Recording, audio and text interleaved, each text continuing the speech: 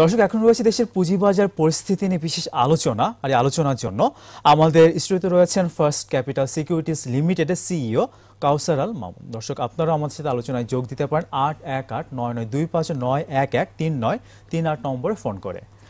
আপনাকে স্বাগত বিজনেসে। আপনাকে স্বাগত।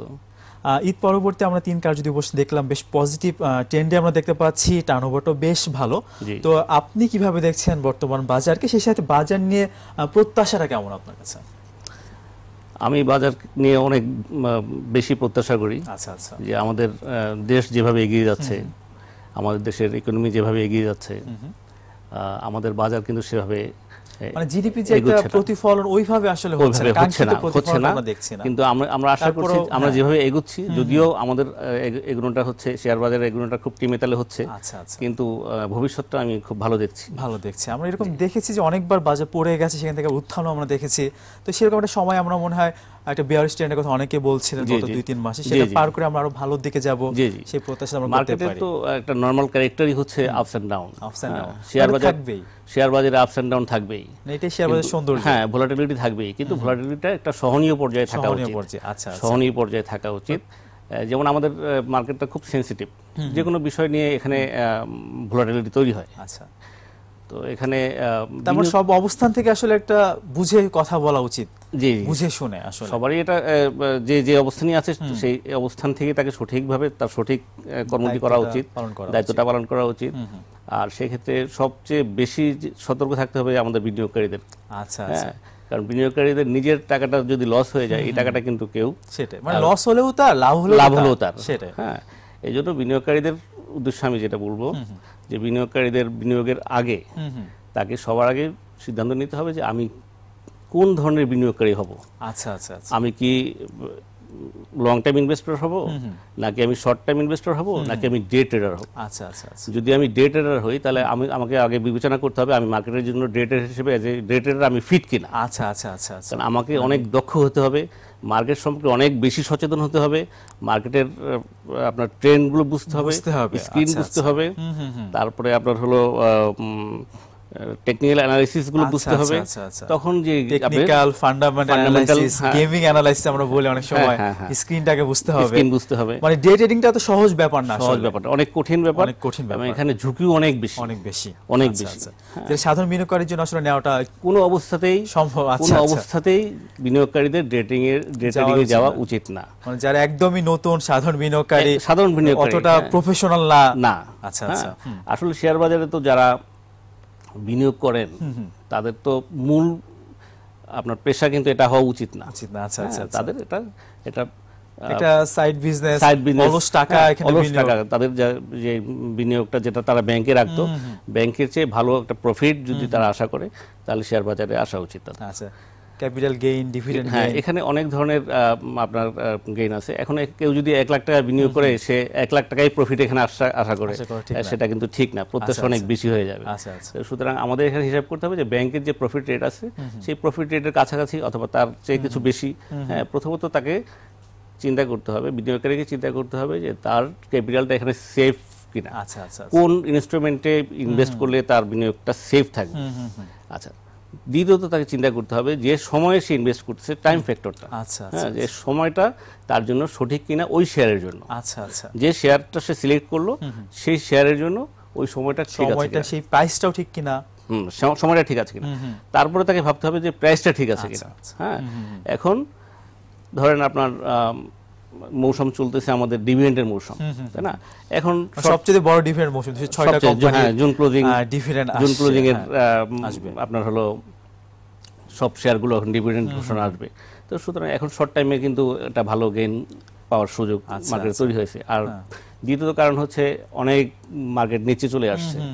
ম্যাক্সিমাম শেয়ারেরই এখন দাম অনেক কম আছে। অনেক লুক্রেটিভ একটা লুক্রেটিভ পজিশনে আছে। মার্কেট সুতরাং এখন মার্কেটে বিনিয়োগ যদি কেউ করে এবং ভালো শেয়ারে বিনিয়োগ করে আচ্ছা তাহলে অবশ্যই সে ভালো ভালো শেয়ার কিছু একটা করবে ভালো ভালো কিছু একটা করতে ভালো পারবে। সময়ে। আশা করি আমরা। আরও কি আসলে দেখা উচিত? একজন বিনিয়োগকারী বিনিয়োগ করবে আসলে আরও কি দেখা উচিত ম্যানেজমেন্ট সাথে তার বিনিয়োগকারীর বিনিয়োগের ক্ষেত্রে আমি যেটা বললাম যে আমাদের মার্কেটে যতগুলো কোম্পানি আছে সব কোম্পানি সম্পর্কে একজন বিনিয়োগকারী কিন্তু ওয়াকিবহাল সম্ভব আসলে। থাকতে পারবে না সে। হ্যাঁ সম্ভব না। সুতরাং তাকে সিলেক্ট করতে হবে ম্যাক্সিমাম পাঁচটা কোম্পানি আচ্ছা আচ্ছা। এবং লং টাইম সে এই পাঁচটা কোম্পানির সাথেই থাকতে হবে। পারফরমেন্সগুলো দেখবে। হ্যাঁ যে পাঁচটা কোম্পানির ম্যানেজমেন্টে কোনো পরিবর্তন আসছে কিনা তাদের যে প্রোডাক্টটা যারা তারা তৈরি করছে আমাদের ম্যাক্সিমাম বিনিয়োগকারী জানে না যে কোন ইন্ডাস্ট্রি কি প্রোডাক্ট তৈরি আচ্ছা, করে। আচ্ছা, হ্যাঁ এবং সেই প্রোডাক্টের মার্কেট কোথায়? সে- লোকাল মার্কেটে সেল করছে নাকি মার্কেটে যেও দেখতে পারে যে আসলে কেমন বেচা কেনা কেমন হচ্ছে বেচাকেনা আসলে। হচ্ছে তার প্রোডাক্টের কোয়ালিটি কেমন তার কম্পিউটার মার্কেটে নতুন কেউ আসতেছে কিনা হ্যাঁ এবং তার যে অ্যাকাউন্টসগুলো আমরা পাচ্ছি রেগুলার সেখানে তার সেলস রেভিনিউ বাড়তেছে কিনা আচ্ছা, আচ্ছা, তার র মেটেরিয়ালস এর প্রোডাক্ট দাম বাড়তেছে কিনা হ্যাঁ যদি র মেটেরিয়ালস এর দাম বেড়ে যায় তাহলে তার প্রফিট কমে যাবে। এরকম অনেকগুলো বিষয় আছে সেই জন্য বিনিয়োগকারীদের উচিত যে চারটা পাঁচটা কোম্পানির সাথে থাকা। হিস্টোরিক্যাল ডিভিড এন্ড ইপিএসগুলো সে হ্যাঁ, মাথায় রাখবে। হ্যাঁ, তাহলে তার কি হবে? তার প্রাইস যে প্রাইসের যে উঠানামাটা থাকবে এটা তার মাথায় থাকবে। মাথায় থাকবে। সে বুঝতে পারবে কোনটা ভালো প্রাইস হ্যাঁ, হ্যাঁ, তার কোম্পানির ডিভিডেন্ডের হিস্ট্রিটা তার মাথায় থাকবে। যে লাস্ট ইয়ার এটা দিয়েছিল এর আগের বছর এটা দিয়েছিল। এই বছর তাহলে তার প্রফিট রেশিও এরকম হয়েছে সে এতটুকু দিতে পারে। হ্যাঁ তারপরে তার মার্কেট নেক্সট তার মার্কেট প্রসপেক্ট কি আছে? আচ্ছা, আচ্ছা। যে তার সম্ভাবনা গুলো কি আছে? তার এক্সপানশন প্রজেক্ট আছে কিনা? এরকম অনেকগুলো বিষয় তার মাথায় আচ্ছা, যদি। থাকে তাহলে অনেকগুলো বিষয় তো আসলে সাড়ে তিনশো কোম্পানির ক্ষেত্রে আমি আসলে সম্ভব না। খুঁজে বের করতে পারব না আসলে রাখতে এই পারব জন্য। চারটা পাঁচটা কোম্পানির সাথে থাকা উচিত ভালো কোম্পানিগুলো কৌশল নিয়ে আরও কথা বলব একটা ফোন নিয়ে আসি আমরা। জি ধন্যবাদ। হ্যালো দর্শক আপনার নাম বলে প্রশ্ন করুন। হ্যালো দর্শক আপনি আবারও চেষ্টা করুন আমরা ছোট্ট একটা বিরতি নিয়ে আসি। জি। দর্শক এবার নিচ্ছি একটা বিরতি ফিরে আসব একটু পরে আমাদের সঙ্গে থাকুন। আবার স্বাগত একুশে বিজনেসে দর্শক, একুশে বিজনেসের এই পর্বটি দেখছেন মেট্রো সেম সিমেন্টের সৌজন্যে। দর্শক, বিরতির আগে দেশের পুঁজিবাজার পরিস্থিতি নিয়ে কথা বলছিলাম। ফার্স্ট ক্যাপিটাল সিকিউরিটিজ লিমিটেডের সিইও কাউসার আল মামুনের সঙ্গে আবার ফিরছি আলোচনায়। আপনি বিরতির আগে বিনিয়োগকারীদের বিনিয়োগ আচরণটা কেমন হওয়া উচিত, অনেক দিক নির্দেশনা দিচ্ছেন। আরও যদি কিছু বলতে চান, আপনি বলতে পারেন। সেই সাথে আমি জানতে চাচ্ছি যে অনেক স্টেক হোল্ডার আমাদের ঢাকা স্টক এক্সচেঞ্জ কেন্দ্রিক অনেক stakeholder BSCC Bangladesh bank আছে মিডিয়া আছে। তো সবার একটা ভালো আচরণ তো আমরা প্রত্যাশা করি। এবং বাজার যে আমরা আস্থার কথা বলি তো তাদের আচরণের কারণেও একটা আস্থার যে ব্যাপার সেটা কিন্তু ঘটে থাকে। তো তাদের আচরণটা কেমন হওয়া উচিত কি মনে করেন? আসলে সবচেয়ে বড় যে ভূমিকাটা পালন করে আমাদের আস্থার ক্ষেত্রে সেটা হচ্ছে মিডিয়া আচ্ছা আচ্ছা। মিডিয়ার একটা নিউজ কিন্তু মার্কেটে অনেক ধরনের তোলপাট সৃষ্টি করে ফেলে। আচ্ছা আচ্ছা। তো মিডিয়ার কিছুদিন আগে আমরা দেখলাম যে সাতাশ হাজার কোটি টাকা উধাও। আচ্ছা আচ্ছা। তো আসলে সাতাশ হাজার কোটি টাকা যে উধাও হয়েছে এরকম কোনো ধরনের কোনো ঘটনা কিন্তু শেয়ার বাজারে ঘটেনি।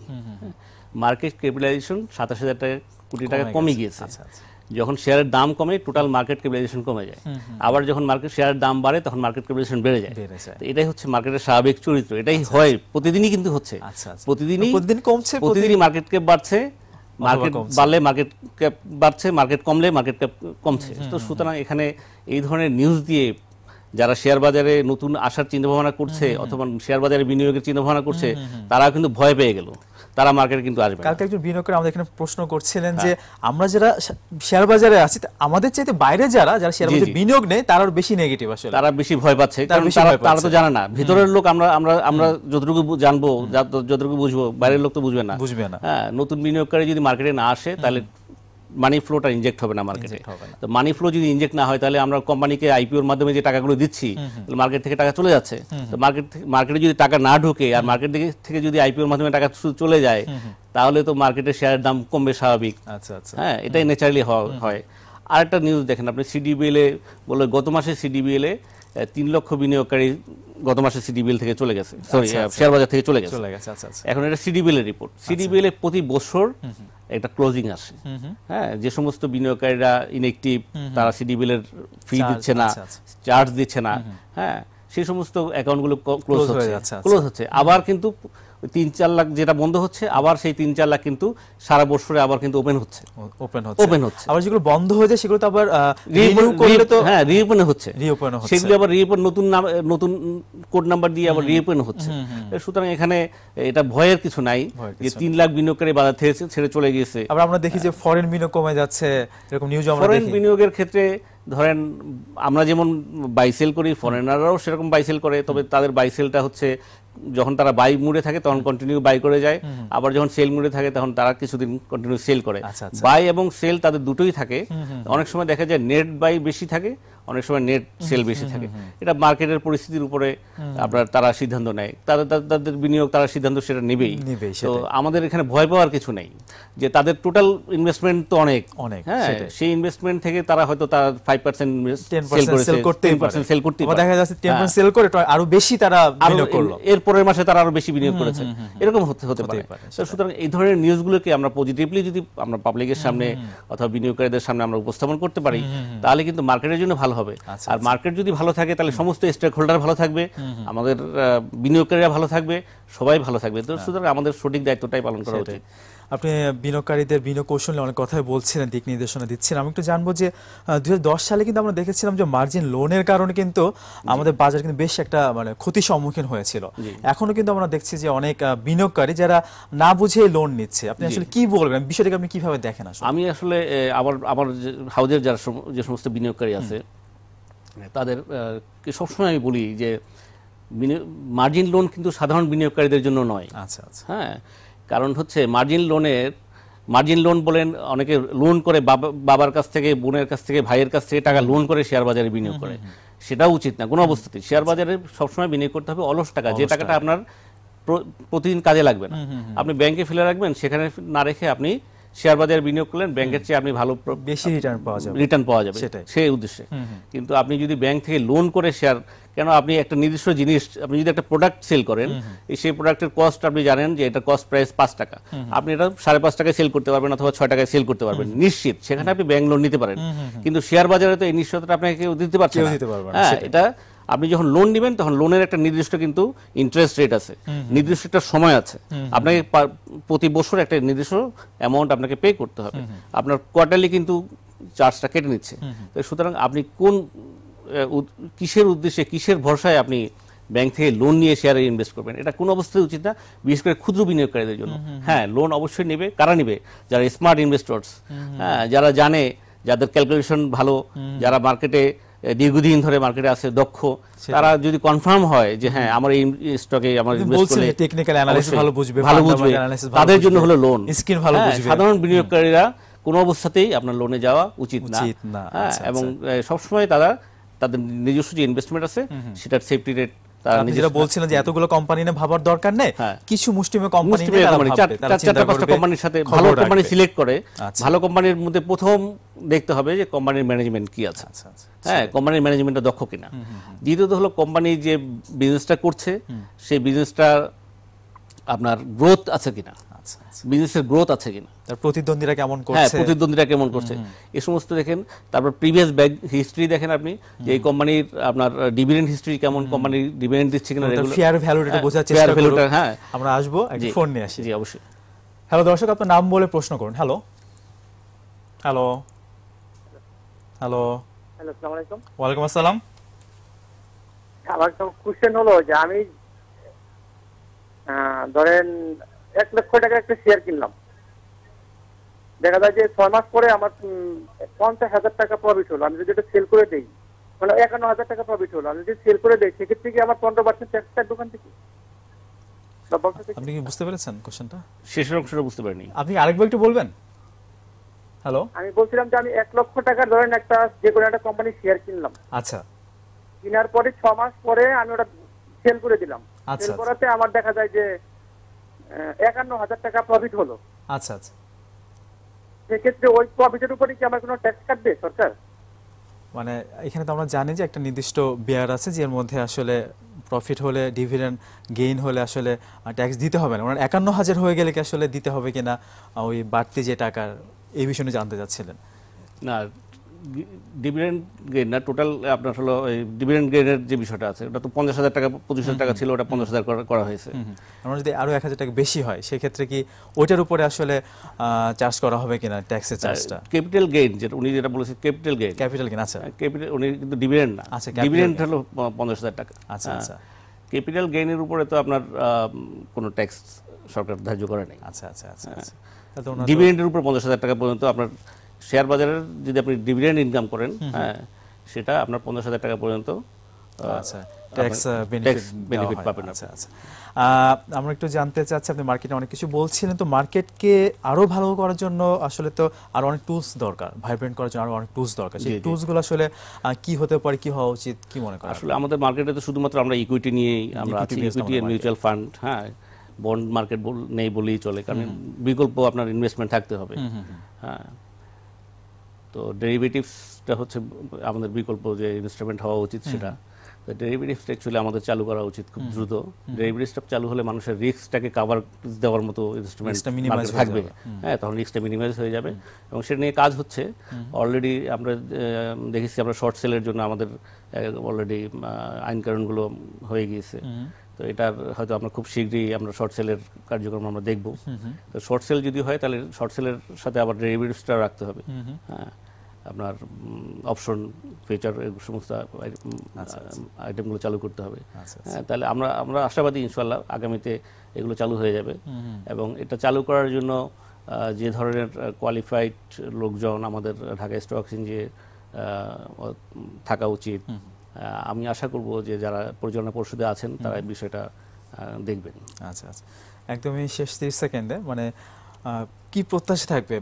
বিনিয়োগকারীদের উদ্দেশ্যে কি বলার থাকবে আসলে? বিনিয়োগকারীদেরকে আমি বলব যে তারা হতাশ হবেন না।